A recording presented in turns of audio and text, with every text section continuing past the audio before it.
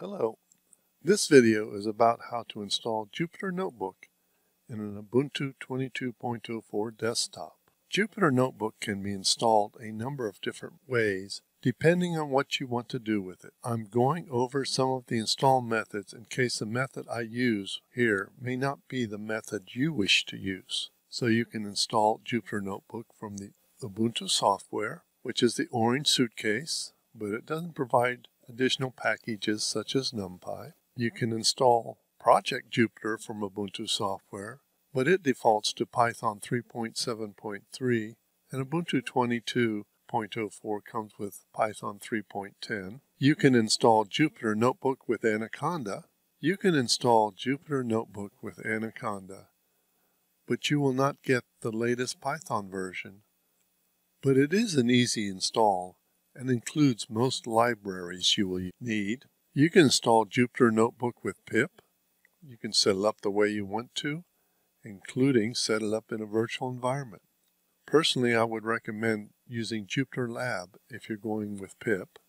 And you can also install it with the Ubuntu Package Manager, apt. This is what is chosen here for this video. It also installs common options such as NumPy, SciPy, etc and uses Python 3.10.4 from Ubuntu. Outcomes you should expect after completing this video. Install Jupyter Notebook into Ubuntu 22.04 desktop. Configure Firefox to launch Jupyter Notebook with its snap constraint. And verify Jupyter Notebook works by using NumPy. Requirements, an Ubuntu 22.04 computer, and an internet connection. The next three slides contain additional sources of info, a list of the software used in making this video, and a disclaimer. If you wish, you can stop this video to read the slides. In order to install Jupyter Notebook, I'm going to require a terminal. To get one, I'm going to go Control-Alt-T. And in order to install Jupyter Notebook, I'm going to have to update and upgrade first. So I go a sudo apt update and then sudo apt upgrade, then a dash y for yes. That way I get the latest version that Ubuntu would have of Jupyter Notebook. Now that's done, I'm ready to install Jupyter Notebook. sudo apt install Jupyter Notebook.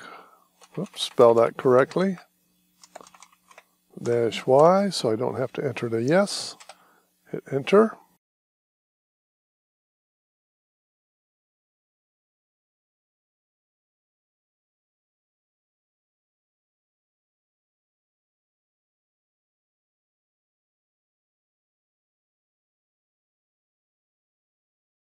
So now that's it for installing Jupyter Notebook. The next step is to make Jupyter Notebook play nicely with the Snap edition of the Firefox browser. So in this step, I'm going to configure Firefox browser to play nicely with Jupyter Notebook. And in order to do that, I'm going to add some information to the bash rc file, paste in some echo export Jupyter data directory equal home user public, and put that in bash rc, hit enter. Then do the same thing with the Jupyter runtime directory and home user public, enter. And then of course let's source dot bash rc so we can update it and bring the new stuff in. And so now I'm ready to start Jupyter Notebook. Okay, so let's verify that Jupyter Notebook works. Key it in. Now in order to stop Jupyter Notebook, you will have to hit Control C twice or hit Control C once and then key in the Y, which means a yes when the question is asked whether you want to shut it down. Okay, so here comes the browser. And new Python 3. And let's check the Python version. So use the shebang or the exclamation mark. Python 3 space dash dash version, shift enter, and that's 310.4 and you can do the same thing to find your Jupyter version. Only this time you type in Jupyter dash dash version. If you spell it correctly shift enter.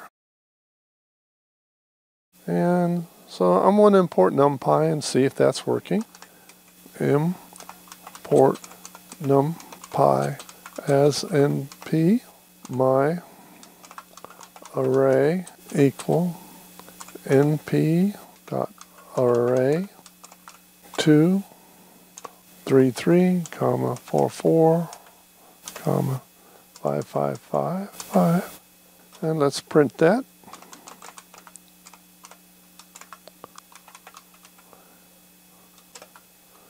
and so you see that it works and then verify that this is an array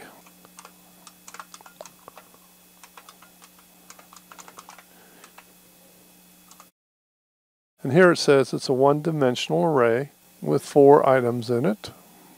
And if you want to change one of the items, all you have to do is go to my array first item equal to 3, 4, 5, and then do another print. And you'll notice that uh, the 2 has been replaced by two, three, four, five. Now, one thing you want to make sure, if you're not playing around, you want to make sure you get filed, save and checkpoint. Uh, but we're not going to save anything here or save as. I'm going to close this and leave the page. To close Jupyter Notebook, hit Control C twice or hit it once and then type in Y. Whoops, I was too slow. Control C, Y. Or you can just hit Control C twice. And that's pretty much it for installing Jupyter Notebook and then starting to use it. Thank you for watching this video and have a nice day.